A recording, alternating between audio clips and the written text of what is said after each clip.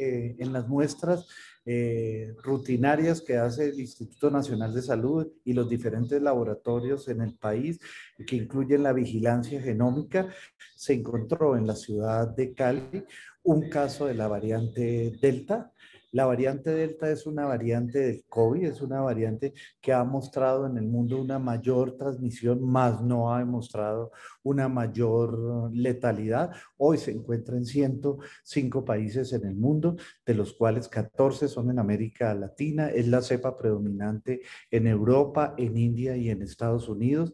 Y este linaje viene creciendo en América Latina. Tenemos casos importantes en México, eh, eh, probablemente por su cercanía a Estados Unidos y en Argentina, eh, donde la gran mayoría de casos son importados. Este caso particular se detectó en la ciudad de Cali en una persona viajera procedente del de Estados Unidos. Se hizo la detección rápida por parte de los laboratorios.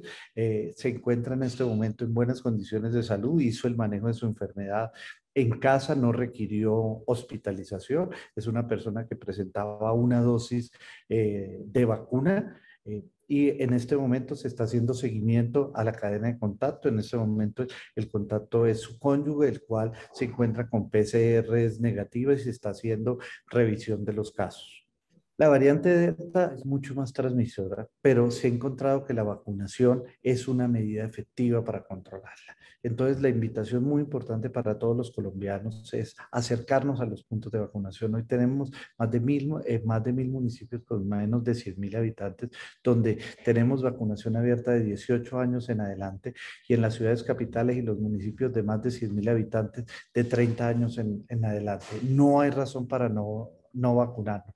La mejor medida de prevención es la vacuna, pero la segunda es el cumplimiento de las medidas de bioprotección y de seguridad. En este momento en el país venimos con un descenso de casos, descenso de, personas fallecidas y de positividad y de ocupación en las unidades de cuidado intensivo. Ese es un hecho positivo, pero es un hecho que no nos debe generar una tranquilidad.